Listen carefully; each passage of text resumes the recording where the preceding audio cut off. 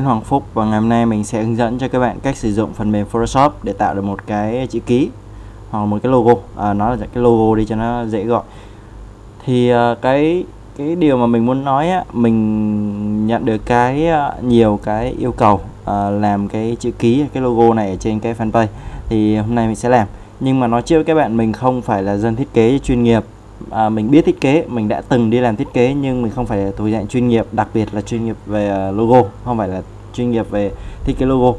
À, mình biết một số nguyên lý không qua trường lớp nhưng mà hy vọng là à, những cái này đủ để mà cho những cái bạn à, không phải thuộc, chúng ta không đòi hỏi quá cao về cái mặt thẩm mỹ như là nó phải thiết kế là chuyên nghiệp rồi in ấn dùng chữ in ấn rồi khắc chữ các kiểu không cần thiết. À, chỉ đơn giản là mình có cái uh, logo nhìn uh, tương đối ổn và có thể uh, thêm vào hình mà không gây choáng hay là nó chiếm chỗ hay là nó gây nhức mắt người xem chẳng hạn. Rồi thì cái đầu tiên là mình sẽ phải uh, trước khi làm bất kỳ việc à, cái uh, không chuyên á thì đầu tiên là mình sẽ phải đi nhìn nhìn nhiều đã. À, mẹ à, không phải nhìn cái này đâu nha. À, 10 giờ đêm mà à, khác đi. À, mình sẽ phải vào Google này. Cái đơn giản nhất là vào Google. À, có một số cái trang uh, chuyên về thiết kế logo á, bạn có thể vào tìm và mình sẽ tìm ở đây photography. À, logo đi. Rồi. À, email này.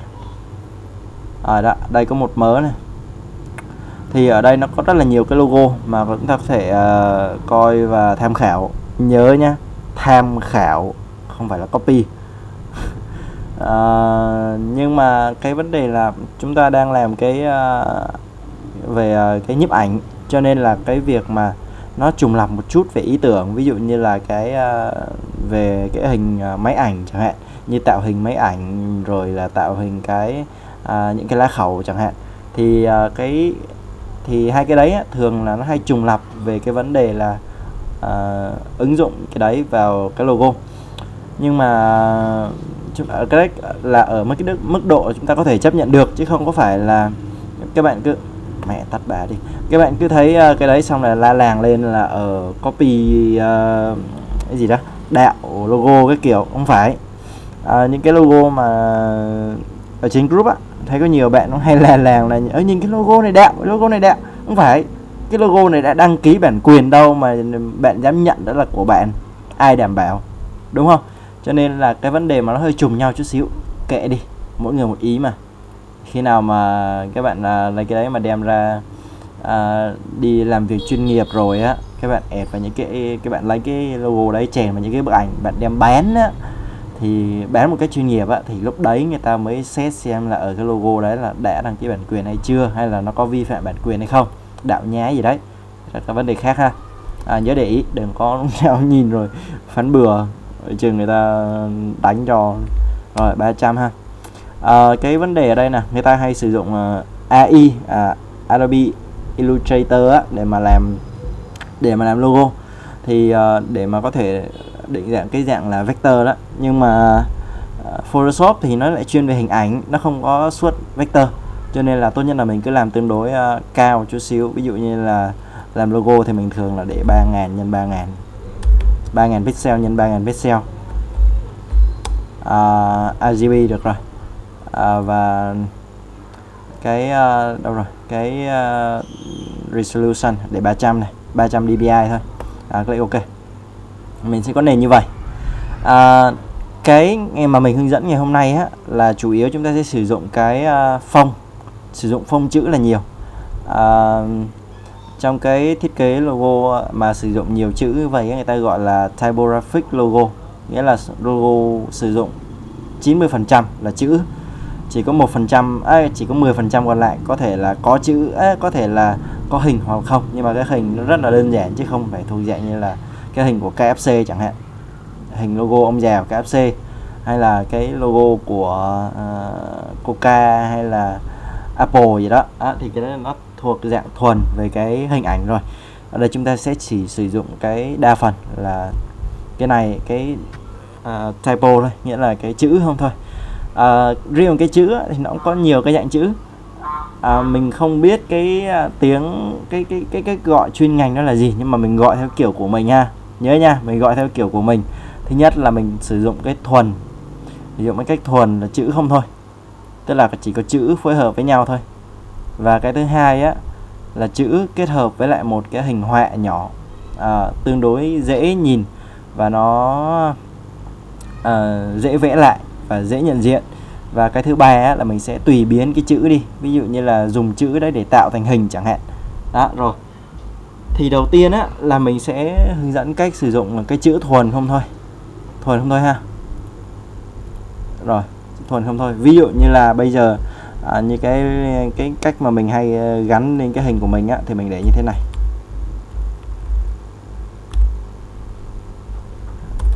Photography nhỉ? Hay phơ ta? Phi chứ. Phơ thôi để phơ đi. Rồi. À, cái của mình á thì mình thường hay làm như thế này. Rồi. Thì đây là cái cách của mình. À, các bạn thấy làm sao? À, nó rất là đều đúng không? Thì à, bình thường á mình không để như thế này. Mà mình để nó kiểu như vậy. Đó. Thì nó có cái à, điểm nhấn này rồi cái này nó nhỏ nó mảnh hơn. Thì nó tạo được cái À, cái cái đồng điệu à, nhấn về cái nào? Ví dụ như là mình nhấn về chữ Hoàng Phúc chẳng hạn. Rồi có thể ngắn gọn hơn. Ạc chẳng hạn. Đó. thì đơn giản như vậy thôi. Ví dụ như là cái này có thể bầu hơn nữa không ta? À, black nè. Rồi đó. Kiểu thế. HP ạc. Chẳng hạn như vậy. Chỉ có một chữ thôi. À một cái lưu ý á, là ở cái uh, typo á, thì nó phân ra rất là nhiều loại. Và trong đấy có hai loại là sans serif và serif. À, serif có thể hiểu là cái phông chữ có chân. Ví dụ như là Times New Roman chẳng hạn. À, đó thì ví dụ như là HP đi. À, mình sẽ để là Times New Roman và đây, New Roman này thì đây là cái phông chữ có chân. Và cái phông chữ à, không chân thường hay sử dụng á thì uh, có thể kể đến như là Arial chẳng hạn. Arial Arial đâu rồi uhm, đây. Đó. Thì hai cái quỷ này hai cái phong này là hai cái phong dễ gặp nhất và nó cũng dễ đại diện nhất. À, thực ra thì cái Arial này không đâu. Ở trong cái uh, sans serif á là những cái kiểu chữ không chân á thì thường người ta hay nhắc tới là Helvetica. À, cái nào rồi? Đâu rồi? À, nãy mình mới để đó. Là cái phông mà nãy mình xài đó. Helvetica. Đây. Helvetica.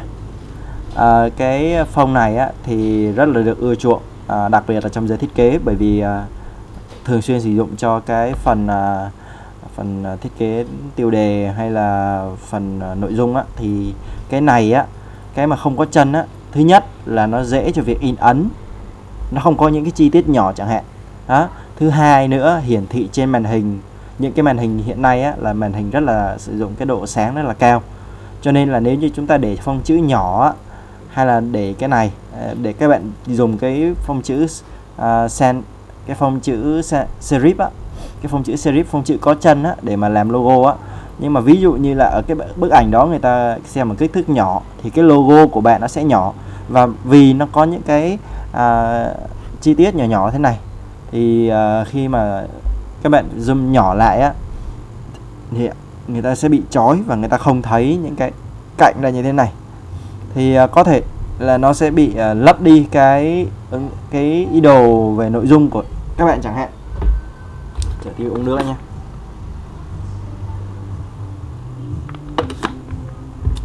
Rồi. À, nó có nhạc nền nữa ta. Rồi à, cái tiếp theo nữa là cái sans serif này á thì nhìn nó phong cách nó hiện đại hơn. Tức là nó phẳng hơn á. À, bây giờ người ta hay chuộng thiết kế phẳng lắm. Thì cái uh, mà nó không có chân này thứ nhất là nhìn nó sang trọng hơn nó dễ in ấn hơn bởi vì nó chỉ có các, các cạnh thẳng thôi. Và nó hiển thị cũng tốt hơn nữa. Ví dụ như là mình để như thế này mà mình uh, zoom nhỏ lại thì nó cũng không gây khó khăn cho cái việc đọc. Rồi đó là cái một số cái lưu ý. Rồi ví dụ à, bây giờ cái cách đơn giản như vừa rồi mình đã trình bày đó. Thứ nhất là chúng ta sử dụng cái à, bow à, là cái à, in đậm á. Thì à, ví dụ như là đâu rồi? À, tên gì đây ta? À, mình sẽ đặt là thanh photo chẳng hạn. Đó thì mình sẽ nhấn mạnh cái chữ thanh bởi vì cái chữ này là cái chữ uh, tên mà mình muốn nhấn mạnh. Thì ở trong cái Helvetica này á, thì nó có rất là nhiều cái định dạng uh, regular, bold, uh, line. Thì mình thường là những cái không nhấn mạnh á, thì mình để line tức là cái cái độ mảnh nó mảnh nhất. Đó thì đây là một cái cách trình bày ngang và một cái cách trình bày nữa là một cái cách trình bày dọc. Như các bạn có thể thấy ở trên cái logo hiện giờ mình đang sử dụng cho cái kênh của mình á channel của mình á thì mình để là HP ở dưới là Photoshop chẳng hạn. Thì uh, cái này nó có hay ở cái chỗ là nó theo cái dạng hình chữ nhật vuông tương đối vuông hơn. Và nó để vào góc nó sẽ tương đối nó nó nó, nó có cái tỷ lệ tương đối tốt hơn. À, và một điều nữa là khi chúng ta zoom nó zoom lớn zoom nhỏ lại chẳng hạn thì nó có một cái uh, chữ lớn để mà nó nhận định. Thì nó làm cho ý là mình là nó nó giúp người ta dễ nhận diện được. Mình không thuần là Photoshop hay là photography gì cả. Rồi. Đâu rồi. Rồi đó. Thì đó là một những cái một trong những cái cách mà chúng ta thể hiện cái chữ. À, rồi cái vấn đề thứ hai tiếp theo nữa là những cái khoảng cách của cái chữ. À, ví dụ như là bây giờ à, cái hình à, chữ HP này đi. À, nếu mà để làm logo á mình cảm thấy hai chữ nó hơi à, cách nhau. Tức là đây mình không có quan tâm gì tới cái chuyện là theo tỷ lệ vàng hay là khoảng cách rồi cái thứ này nọ nó tỷ lệ bố cục ha. Mình không có quan tâm tới bởi vì mình đang tay ngang mà. Hơi đau mà ngồi tính rồi bâu trước ha. Rồi cái tiếp theo nữa cái Photoshop này. Bây giờ mình không muốn to thì sao? Mình để chữ nhỏ như thế này đi. Thì uh, mình sẽ sử dụng nó kết hợp với lại cái bảng character này. À, nếu các bạn không nhìn thấy các bạn có thể vào uh, menu window ha và chọn char character. Đâu rồi? Character ở đây nè. À, nó hiện ở nó hiện lên đây rồi. À, character nè. Chọn ha. Chọn window chọn character ha thì nó sẽ hiện lên cho các bạn những cái này. À, cái này mình đã từng nói một lần rồi nhưng mà mình sẽ nói lại. À, cái mà mình hay dùng nhất á đó là cái khoảng cách trên dưới này và cái khoảng cách giữa các chữ này. Ví dụ như ở đây cái chữ HP này mình muốn cho nó gần nhau. Ví dụ như ở đây là đang là phong 275 mình để lên vậy là kiểu gì nó cũng sẽ đâu rồi? À không cái này đang là là khoảng cách cái chữ trên chữ dưới mà. Ở cái này ha nhìn cái này ha. Mình biết là chữ trên chữ dưới này. Còn cái này là hai bên với nhau này. Như Photoshop này đi mình muốn cho nó giãn cách ra. Hai trăm phần trăm rồi hay là tăng lên. Các bạn thấy tăng lên sao cho nó vừa sát cạnh và cái chữ h. À, mình lấy cái chữ h làm chuẩn này chẳng hạn. Rồi đó chẳng hạn như vậy. Đó thì cái này á nó có một cái hay ở chỗ là nó vẫn là cái logo hoa nhưng mà khi mà mình zoom nhỏ lại á thì sao? Các bạn thấy sao? Vẫn thấy chữ HP đúng không? Ở đó thì cái chữ HP đó chính là cái logo của mình. Tức là làm sao cho người ta nhận diện được khi mà mình zoom nhỏ zoom lớn. Mình không quan tâm cái Photoshop. Là cái Photoshop này là chỉ cái nó chỉ là cái bổ trợ cho cái chữ HP thôi. Mình biết là ở HP Photoshop chứ không phải là cái HP hạng máy tính gì cả. Rồi à, đó là cách thứ nhất sử dụng cái uh, chữ thuần không thôi ha và cách thứ hai chúng ta sẽ uh, tùy biến cái chữ đó với lại một cái uh, hình họa nào đó chẳng hạn. À, ví dụ như là trước mình có làm cái uh, logo cho ông anh thì đại khái là cái logo này nó Ê, không lẽ ở đây bây giờ mình hướng dẫn làm cái shape và cái hình dạng luôn ta? Nó tốn thời gian quá và tạm thời bỏ cái đi, mình sẽ ứng dụng một cái mình sẽ hướng dẫn sau ha. Và cái thứ ba nữa cái cách thứ ba nữa là chúng ta sẽ tùy biến cái chữ mà mình đã từng làm một cái logo cho một nhà hàng. Và mình sử dụng cái uh, người ta yêu cầu mình á là phải uh, tạo hình uh, cái tên mà thành được cái logo cho cái nhà hàng đó. Thì mình làm như sau nè. Mình uh, sử dụng cái phong uh, thư pháp. Phong thư pháp fan biết này có hay không ta? Để thư pháp thiên ân thì phải. Ở à, đó là thư pháp thiên ân. Cái phong thư pháp rất là đẹp. Mình chưa thấy cái phong thư pháp nào hay hơn hết. À đây UTM thư pháp thiên ân. À, tất cả những cái phong này mình sẽ share sau ha. Thì đầu tiên á là ở cái phong thư pháp này á nó có đặc điểm hay là nó có nhiều cái phong nó giấu. Tức là những cái phong ẩn á, thay vì ví dụ bây giờ mình bấm đề chữ ship và số 6 chẳng hạn, mặc định thì nó là cái dấu mũ của chữ ơ, nhưng mà đây nó thay đổi đi để mà thành ra chữ h chữ h hay chữ b gì đó. Hoặc là cái ờ, đè đề hay là mình bấm chữ ờ, bấm cái nút ngoặc vuông này chẳng hạn. Ngoặc vuông á, thì nó sẽ ra chữ ch hoặc là mình đè phim shift và bấm chữ ngoặc vuông thì ra cái này. Thì uh, lúc đấy á, mình sử dụng cái này nè để làm cái uh, logo nhận diện luôn. Bởi vì ở đây á các bạn có thể thấy mình có thể tùy biến đi nè. Đây có thể xếp cho nó gọn lại. Rồi bấm cần chôn T ha. Và có thể tùy biến đi uh, một chút. Cái tâm của nó đâu rồi? Rồi mình cho cái tâm và chữ C ha à, khi mình xoay á, thì nó sẽ xoay ngang cái chữ C thôi. Đó mình sử dụng cái này. Mình có thể lật ngang lật dọc vậy đó. Tùy các bạn. Ừ, không biết là mình còn lưu ở trong này không? Thì đại khái là mình sử dụng những cái phông và mình lật ngang lật dọc nó lại á, để mà tạo thành hình à, và nó cũng khá là hiệu quả. Linh tinh đâu rồi. Đây nè. Uhm. logo logo logo không thấy. Ôi chết cha sao cái đây bỏ mất tiêu rồi? À đại khái đây nè. Cái logo trước mình làm nè. Nguồn sáng Việt nè à, thì nó sử dụng đúng như cái mình đã nói ha. Cái uh, hình uh, nhấn sáng mạnh hơn và nhỏ hơn và một cái uh, cái ký hiệu rất là đơn giản nhưng mà chữ S và đồng thời cũng là chữ N. Và quan trọng là khách hàng thích. À, hoặc là không phải phải cái này. Hay cái logo này chẳng hạn. À, sử dụng cái hình rất là đơn giản nhưng mà quan trọng là uh, nó không chuyên nghiệp nhưng mà quan trọng là khách hàng thích và người ta đánh giá cao cái đấy vậy là tốt rồi. Đối với mình vậy là tốt rồi. Rồi. Đó rồi uh, một cái cách nữa cũng có thể là chúng ta uh, sáng tạo hơn chút xíu chẳng hạn. Bây giờ mình sẽ sử dụng uh, đâu rồi?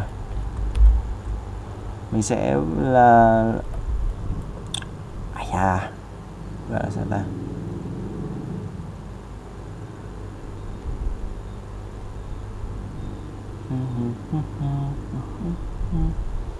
ETU Helvetica. Ultra đi. Rồi. Có một cái cách nữa người ta hay dùng nữa là nó lồng vào nhau. Các bạn để ý không lồng vào nhau. Đây, mình làm luôn cho dễ nhìn.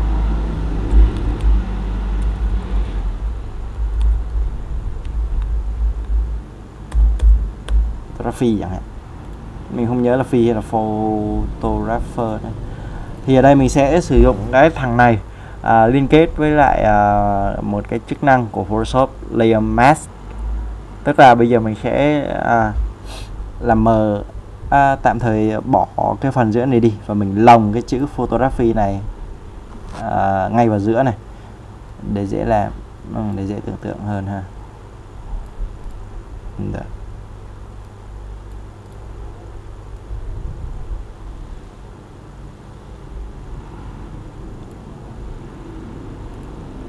À, bấm à, Ctrl Y e đảo ngược lại. Và mình cho cái chữ photography vào đây. Uhm, cho cái chữ to lên chút xíu. 30 36 à, 36 chắc đẹp. Rồi à, có thể cho nó giãn ra như hồi nãy mình đã có hướng dẫn rồi.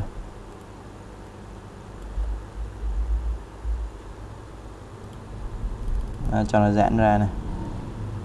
200 rồi nhưng mà mình vẫn có thể tăng thêm ha. Có thể nhập thêm vào hoặc click vào cái à, không cần click à, click vào cái biểu tượng này và kéo về bên phải nếu muốn tăng lên kéo bên trái nếu muốn giảm đi ha. Và dùng công cụ ờ, này để mà di chuyển này. Rồi đó ví dụ như vậy. Thì đây là mình cũng có một cái ờ, logo. Cực kỳ đơn giản ha. À, nói rồi à, mình không có đề cao quá mức cần thiết về cái vấn đề là mình à, à, tạo được một cái logo nó chuyên nghiệp. Nhưng mà ít nhất là mình hãy sáng tạo và mình sử dụng cái phông sao cho nó hợp lý. Như mình đã nói rồi à, có nhiều loại phông cũng có nhiều cách thiết kế. Cái cách tốt nhất á, là mình hãy quan sát coi xem thử những cái mẫu à, ví dụ như là cái search như hồi nãy mình đã làm chẳng hạn các bạn có thể thấy một số cái mẫu rất là hay ho. Như cái này cũng tương đối khá là sang trọng. Và mình có thể tùy biến à, ví dụ như là mình à, xử lý những cái hình họa à, đặc trưng á như là cái hình à, này chẳng hạn à, cũng là cái hình máy tính à, cái hình máy chụp này chẳng hạn. À, thì những cái này nó khá là đơn giản không có khóa quá khó uh, xử lý hay là tạo hình. Như cái này chẳng hạn các bạn có thể lấy chuột các bạn vẽ cũng được. Rồi cái ở giữa này có thể dùng chữ C như nãy mình đã nói đó. Thì dùng chữ C của phong uh, uh, thư pháp thiên ân chẳng hạn. Rồi. À, vậy đi. À, cái này cũng tương đối dài rồi đó. Rồi ha nhớ nha. À, nhớ tập nhiều vào và chọn cho mình một cái logo nó hợp lý. Và nếu mà muốn tốt hơn ha nhờ đến những người thiết kế logo. Ờ, những cái nhà thiết kế chuyên nghiệp hoặc là ít nhất là người ta cũng đi làm theo một cách chuyên nghiệp rồi thì lúc đó người ta có nhiều cái kinh nghiệm hơn người ta quan sát nhiều hơn. Thì uh, tốt nhất á muốn đẹp á bỏ một khoản phí ra để thuê người ta làm. Chắc chắn bạn sẽ ờ, bạn sẽ thỏa mãn với cái điều đó. Bạn bỏ tiền ra rồi thì tất nhiên là bạn phải có quyền yêu cầu người ta phải làm sao đẹp nhất cho cái theo cái ý của bạn. Hoặc không á tiết kiệm hơn thì làm như kiểu của mình như nãy nãy giờ mình đã hướng dẫn chẳng hạn. Đó đó là những cái kiến thức rất là cơ bản à, và kiến thức nền có thể sở thêm à, những cái cách à, thiết kế logo. Một số cái à, cái cách thiết kế logo hay hơn chẳng hạn như là à, uh, FitX chẳng hạn. Các bạn có thể thấy cái uh, cái logo huyền thoại của FitX ấy. logo người ta gọi logo ẩn hay sao đó. À, mình cũng không rành. Thì người ta cũng sử dụng một cái uh, đơn giản như là nãy giờ mình đã nói thôi. Ờ uh, đó lắp ra lắp vô rồi cho nó cách ra cách vào tạo ra hình chữ à, tạo ra hình cái mũi tên. Đó thì nó cũng sử dụng những cái cách rất là đơn giản. À đúng rồi còn về màu sắc nữa. Về cái màu sắc á thì uh, như để mà add lên hình á thì mình khuyên các bạn dùng màu trắng hoặc màu đen thôi.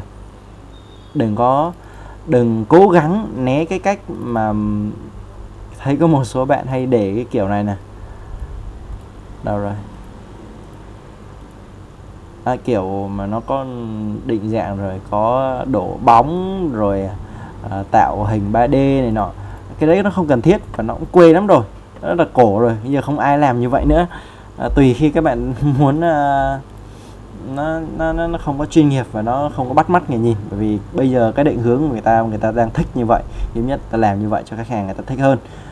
Thì uh, rồi đó, đó là toàn bộ à, hy vọng là các bạn thích cái tool này. Và nếu có thắc mắc gì hãy liên hệ với mình ở trong cái fanpage uh, tên là Hoàng Phúc um, Photoshop Facebook ha.